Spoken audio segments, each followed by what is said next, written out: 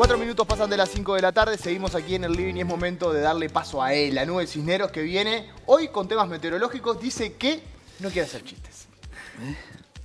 ¿De verdad? ¿Estoy mintiendo?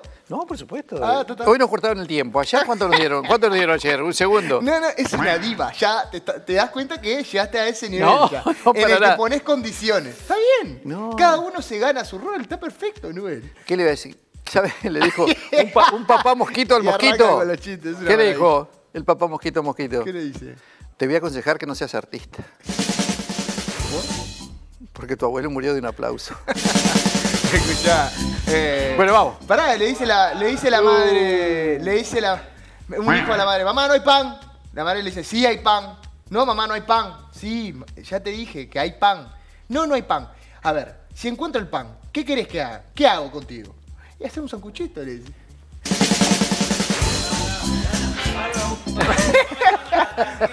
Escuchá, Ya eh, está. Ya nos vamos. Va, vamos, no, no, va, vámonos, está- vámonos, había vámonos. una familia esperando por el resultado de, de su ser querido Uh, no, en, el, no. en el hospital. Sí. Y sale el médico y dice, familiares del señor Fernández, por favor, acérquense, el panorama es muy complicado, muy complicado.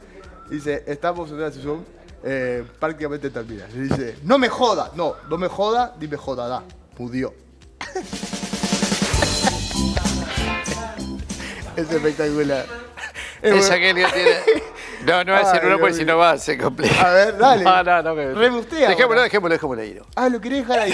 Sí, dejémoslo ahí.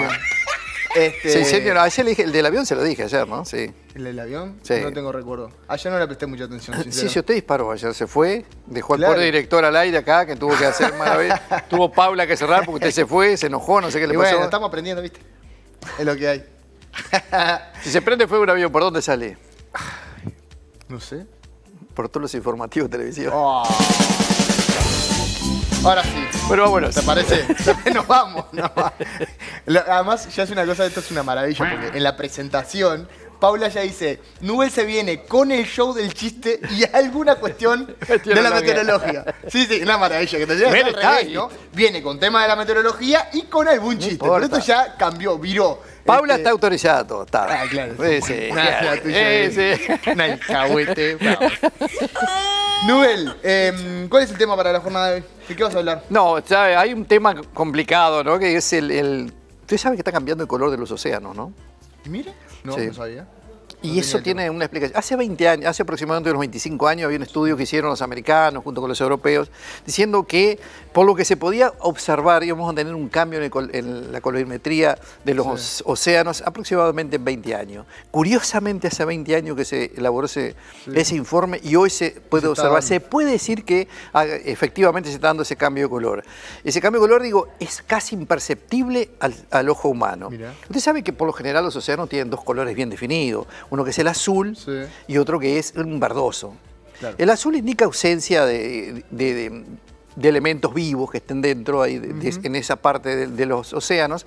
Hay ausencia de, seres vivos, en cambio el color verde nos indica que, bueno, que ahí tenemos otro tipo de actividad, de fitoplancton, que indudablemente favorece para que determinadas especies marinas se puedan alimentar. Entonces, podríamos colorido. definirlo como que el verde indica que hay vida y el azul indica que hay muy poca vida en lo que respecta a los océanos. Los océanos. Y bueno, y lo ¿Y que se ha visto... pasando?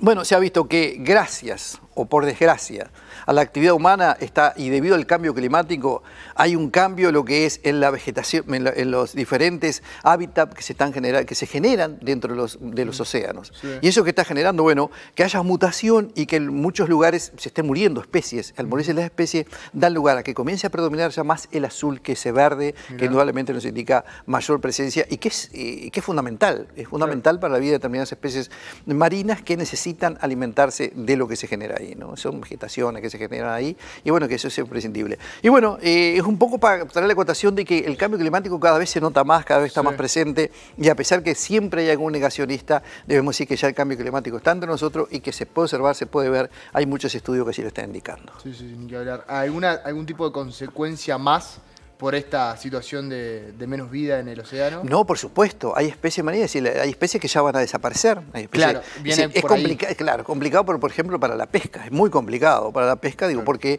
ya las especies est- están mutando digo, y ya prácticamente hay buques pesqueros que normalmente tenían su zona de pesca y hoy ya prácticamente que ya son muy erróneos los lugares donde ellos van y es un gasto más. Por lo tanto, se encarece y tenemos menor alimento. Bien. Eh, Nubel, ¿qué va a pasar con el pronóstico para los próximos días? Llovió ayer de noche, tal cual como lo dijiste, por lo menos Sí. acá en el área metropolitana. No, no llovió en todo el país, llovió poco, llovió- no fue mucho lo que llovió. Hubo granizadas, por ejemplo, Sí, en Artigas. En Artigas, en el norte, ¿no? Sí, en el norte. Bueno, es como consecuencia que yo siempre digo, digo, las granizadas son difíciles de, de determinar en qué punto se van a dar. Sí siempre debemos decir que en zonas de tormenta existe la probabilidad de granizada y fue un poco lo que estuvo ocurriendo. Mejoró muy rápidamente, ya hoy en la mañana quedaban restas de unas llovinas sobre la zona noreste y sureste, pero ha mejorado. Descendió la temperatura, se notó el cambio de masa de aire y ya para mañana una jornada a pleno sol, temperaturas que vuelven a ascender mañana. Mañana vamos a tener una rotación de vientos hacia el sector norte. Mañana una temperatura máxima en el entorno de los 20 grados aquí en la capital, de 24 26 grados en el resto del país y esto se mantiene el viernes. El viernes en la noche, recuerde, hay pasaje de nubosidad sobre la zona costera, hay vientos que van a rotar nuevamente hacia el sector sur y descienden las temperaturas en la noche del viernes. Bien. Un fin de semana primaveral, a pleno sol, temperaturas muy agradables en el día, cuidándose en la noche, las noches van a permanecer frías. Bien, impecable. ¿Alguna- Poca lluvia, ¿eh? Poca, lluvia, se complica la situación del agro, ¿no? Iba a y si las tareas se siguen, las tareas del agro, el de laboreo se siguen complicando debido a que no hay humedad en los suelos y es más notorio, como le vengo diciendo, al sur del Río Negro. Sí, el niño, no, no. Y el niño ¿Brilla tiene... por su ausencia? Sí, brilla por su ausencia, porque si bien ya lo que es los organismos internacionales ya dijeron que sí, que está entre nosotros el Sí. niño, pero todavía no se define como tal y por lo tanto estamos sufriendo esta consecuencia. Bien. Lo que podría llegar a darse una, una cuarta sequía. Esperemos que no. Esperemos que no, sería terrible. Alejemos eso. Había dos personas hablando y uno le dice, che, vendí la aspiradora. ¿Por qué? Y lo único que hacía era acumular polvo. Noel, muchas gracias. Eh, un placer, como siempre. un pan al otro, acá te presento una amiga. ¿Cómo, cómo, cómo? que le dijo un pan al otro. ¿Un pan al otro? Sí. Ese sí lo dijiste yo. Te presento una amiga. Y bueno, que el colmo de un bombero, ¿Cuál? tiene una novia ardiente. Muy bien, eh, yo ya no puedo dar más. Espero que se hayan conformado con lo, con lo que dimos en la jornada de hoy. Nube, como A siempre. full. gracias. Esto queda Esto arriba. Esto queda arriba.